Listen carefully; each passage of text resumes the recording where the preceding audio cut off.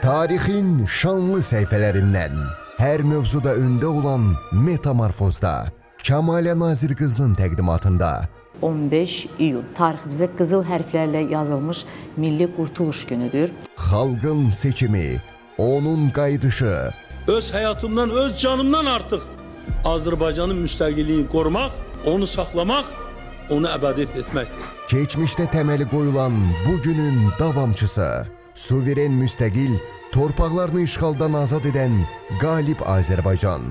Bu barədə Milli Qurtuluş günündə millət vəkilləri Elman Nəsirov və Jalə Əliyeva tarixi faktlardan söhbət açacaqlar. O gəlməlidir hakimiyyətə. O kim idi?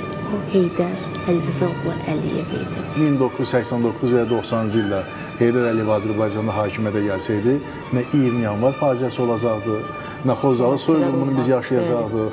Yalnız Metamorfozda MTV kanalında.